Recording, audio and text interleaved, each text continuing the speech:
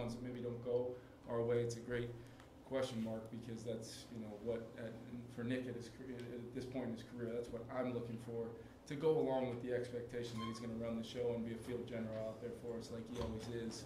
Uh, so I was happy with Nick's performance on the day. Really, a lot of a lot of different guys mixed into that huddle that maybe don't got, get a lot of reps a lot of times, but a lot of guys down today.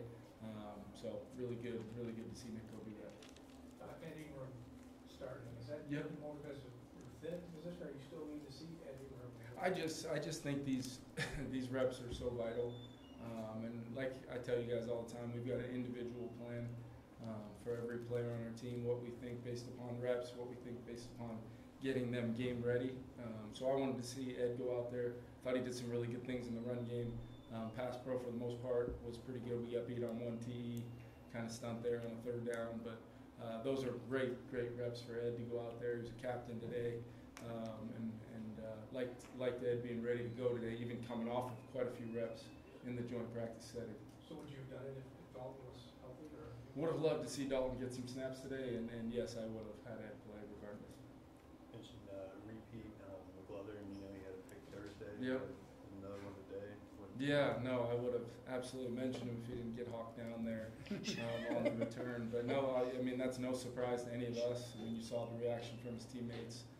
Um, Dwight's been basically, uh, you know, every other day or so you feel like he's making a play, um, significant play like that. Um, just a really good example of the, the group of defense in there. They put together a little drive and uh, you know make him snap it one more time down in the red zone and tips and overthrows and, and, the, and the ability to really flip the entire field two plays later. Uh, Jaren throwing a touchdown to Malik Knowles, who was great to have out there as well. So Wes calling on, Wes called the offense, and Daronte and Mike shared the defense? Yep. How'd they do? I thought they did great. I mean, Wes had a great flow. Um, really did a great job preparing uh, the guys that were going to play. Clear plan. Uh, got, you know, very, very. Uh, you know, unfortunately, I think a lot of our penalties came in the in the special teams phase today. Um, but it felt clean. The operation. Uh, Wes called a great game. Uh, really mixed it well. Some good third down calls. I'm going to put points on the board, so really want to compliment Wes. And then I thought Daronte and, and Sarabo were you know, it's it's always interesting when you're going to have two separate uh, guys call plays with uh, you know what their one style is going to be versus the other. But I thought they played off of each other well, um, and and like I said, just uh, challenged the defense at halftime to not give up another point, and they didn't. You know, the offense ended up giving up two there at the end. And it wasn't entirely open, I mean, Asamoah, that's a play that, inside pressure like that. For sure. Yeah, no, I you know absolutely, and I, I think you, you could go through the list of guys. I mean, Gann had nine tackles. Ba had a uh, a really a really good play there. It looked pretty darn close to a safety um, on that one sack that he had, and then we you know finished it with another interception there late. So. Um, you know they're not going to get a lot of credit statistically, but I also thought our D line. Uh, I mentioned the O line. I thought our D line. Uh, there was knockback. There was a, a lot of physicality up there. Uh, a lot of different young guys that we're really excited about. Uh, you know, in a really competitive situation in that room. I think it was Carter kind of creating a little bit of traffic for PA on that Yeah. sack. And I think he had the hit on the pass it loop tip too. Yeah, yeah. I mean, to me, Andre is um, continues to get better. Um, he's he's a guy that you, you felt him off the edge quite a bit. I'm sure you guys did as well.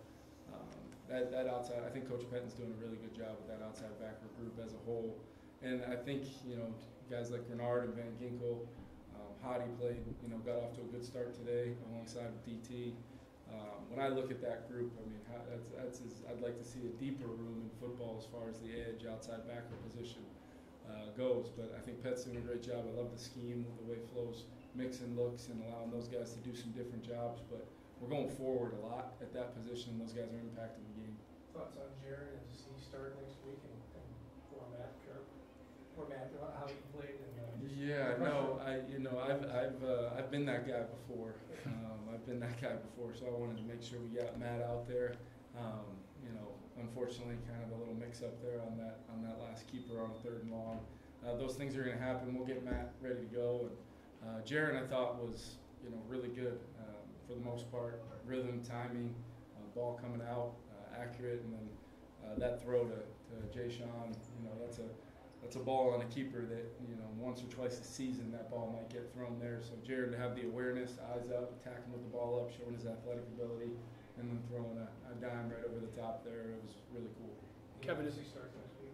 Uh, we're, we'll work through it, but yeah, whether whether we end up you know having Nick take some snaps or not next week, uh, but we'll I'd love to see you know I'd love to have extended opportunities for a lot of these guys to continue to build on the performances they've had. But we'll we'll keep you guys posted about the plan kind of for next week when it gets a little closer.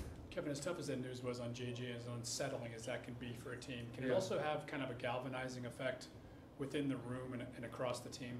Yeah, I think I think guys are pretty confident in Sam Darnold. I do, and, and you know when Nick Mullens got his opportunities last year, uh, we were very explosive as an offense. So uh, his ability to run the show and really you know highlight a lot of different aspects of our offense with his understanding is, is, is something that's why Nick's here. Um, he's a guy we really respect and, and respect his prep and his experience. Uh, but I think you know nobody nobody's more bummed out about JJ's situation than JJ himself, just because he loves being with his teammates, and uh, we're going to get him back with the group as fast as possible. It's great to get home and and and see him post you know post op. I'm sure he'll be uh, at the facility day and night already uh, in meetings and everything. It's it's we're going to really try to craft a plan for JJ that allows him to uh, not miss a beat from a mental preparation and a standpoint of going through game plans throughout the season. And really starting to envision what that looks like for him um, as he kind of watches Sam go about it in year one of the system as well. Did did you come out in the game?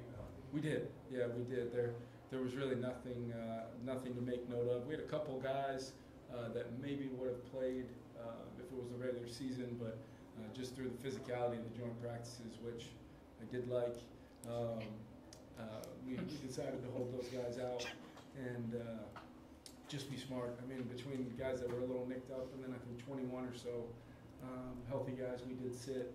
Um, that speaks to the depth, and, and Kwesi and I, we wanted to win some preseason football games this year, and, and I think the depth that Kwesi's put together on this roster, um, the fact that we're 2 and 0 and have seen a lot of guys play, um, in some cases against you know maybe higher levels of the depth chart on some other teams, it's been really cool to see those guys go out there and compete. Thank you. Thank you guys.